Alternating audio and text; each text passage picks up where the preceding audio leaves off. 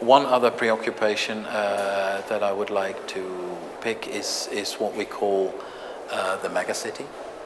It's, for me, an interesting preoccupation because I think it's not just big cities that are interesting. I think what is interesting is that now our economy uh, and our world, in such an incredibly asymmetrical way, concentrates in cities that it almost leaves nothing behind. I mean, you can say that um, when more than 50% of the world lives in cities, it also inspired the questions, what is left behind?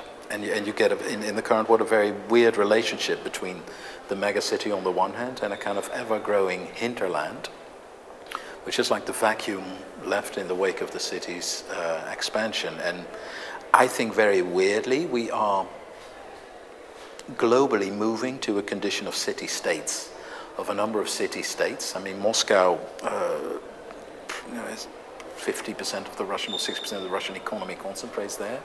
That you have the old Greek or Persian condition where actually the cities are a number of bottlenecks where the economy is acted out and in between you have a kind of almost shared hinterland with diffuse borders. I mean, in Russia you see an enormous influx of Chinese into Siberia at the, happening at the same time.